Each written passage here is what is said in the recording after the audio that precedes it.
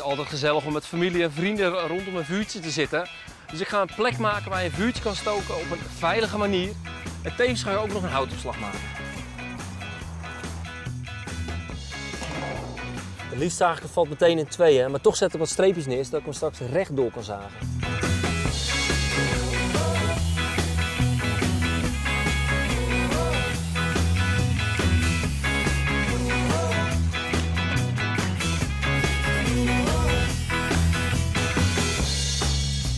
Door het zagen ontstaat er een hele scherpe rand op het staal.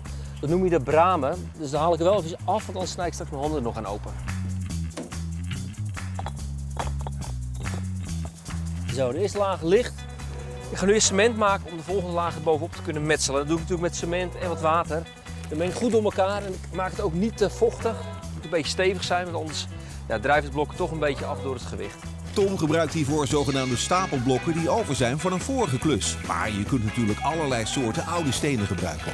En deze twee blokken waren ooit één blok geweest. Kijk, ze hebben precies in twee gebroken. Het krijgt natuurlijk een mooi uiterlijk, dus ik hoef ook niet zo heel netjes te werken, of niet zo heel strak gemetseld te worden. Dan wil je nou wel heel strak en schoon metselen, dan moet je gewoon niet te veel specie op je troffel nemen, want dan krijg je er gauw tussenuit.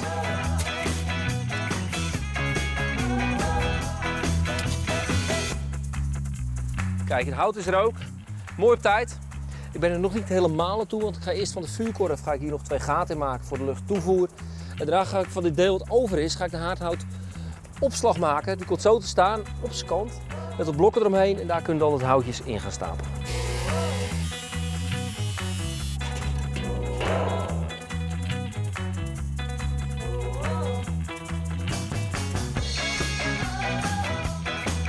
Heb jij ook ergens een stapeltje oude stenen en wil je deze vuurplaats namaken? Kijk dan op eigenhuisentuin.nl slash vuurplaats. Nou, dit is natuurlijk heerlijk. Zo'n gezellig vuurtje. Lekker warm ook. Proost.